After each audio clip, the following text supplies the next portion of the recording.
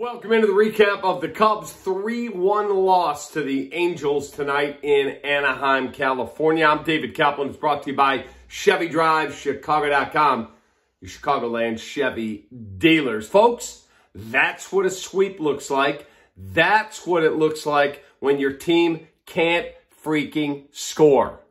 That team is not good enough offensively. I'm not giving you something you don't already know. But again, you got quality starting pitching. Six innings out of Drew Smyly, three runs, two of them earned. One comes in on an error. That play just cannot happen on a bad throw from the catcher to second base. It gets away. Run comes in, makes it a 3-1 ball game, and that was like freaking Mount Everest for that club to try and climb. Folks, let's just be honest here.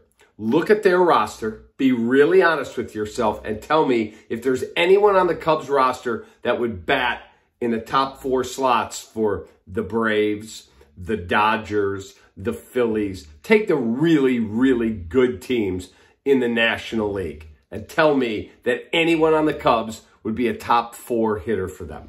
The answer is no one. Absolutely zippo.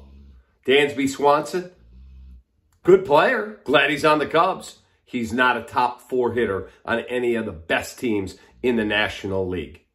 Tonight, the Cubs got nothing going offensively. Trey Mancini knocked in a run to tie the ball game at 1-1, and that was all they got. They had a little bit of traffic at times on the bases, unable to come up with a big hit in a big spot. Bullpen was fine. They did their job. But when you get one freaking run and throughout the series you can't score, you are going to look awful. And by the time this season ends with the bullpen they've constructed and the lack of impact bats that they have, this club is probably going to finish dead last in the NL Central. Dead last. And it breaks my heart to say that because the way they got off to a really good start, I thought, maybe this club's going to surprise us all.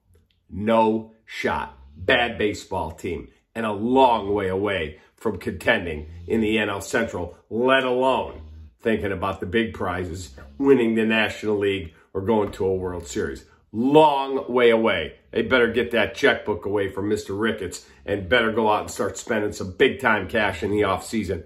Will they? I think. I hope. Let me give you the four seasons heating, air conditioning, plumbing, and electric. Crazy stat of the series. You realize that the Cubs scored in three innings in the series, one in each game. That's it. That's all the freaking offense this dead ass club got. That's it.